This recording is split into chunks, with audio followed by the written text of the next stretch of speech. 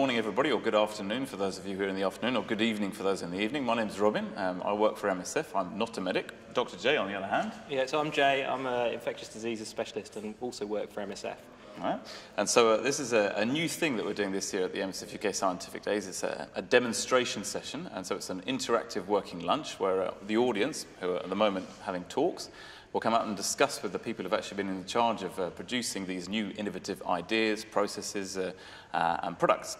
And what we're going to do is we're going to do a series of five-minute interviews, uh, one interview per uh, different product. Uh, and this is going to be streamed over lunchtime. And so uh, it's for the morning early enough, but it'll be lunchtime later on. And also these videos will be available to download uh, off the F1000 site later on. So just be able to Google, for example, uh, Marco, who's the guy in charge of doing this, and he'll explain it later. And Cool Chain, which is what this is, and he'll explain that later.